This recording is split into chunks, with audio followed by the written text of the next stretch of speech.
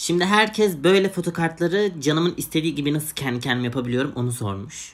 Yani siz de biliyorsunuz normalde böyle bir fotokart yok. Hani böyle bir fotoğraf var ama bunun bir fotokartı yok. Hatta diğer orijinal fotokartlarımın içine koydum çünkü çok güzel oldu.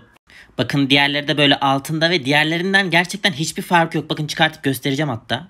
Bakın bu orijinal bir fotokart. Albümden çıkan bir fotokart. Şöyle göstereyim arkasından da belli oluyor. Bunun böyle yanına koydum ki hani boyutları vesaire her şeyi aynı daha iyi anlayın diye.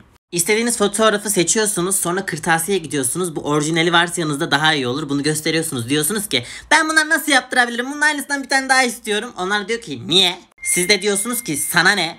Ha bir de dedin ki işte bunun gibi böyle kalın olmasını istiyorum. Onlar da çıkartıyor veriyor böyle oluyor işte bakın. Kendime fotokart yapmış oldum böyle. Tabi orijinal fotokart e, toparlayan bir kolektörseniz bu size göre bir şey değil. Benim orijinal fotokartlarım da var ama hani eğleniyorum. Öyle canımın istediğini çıkartıyorum falan öyle. Ben kolektör değilim. Ya, takılıyorum öyle.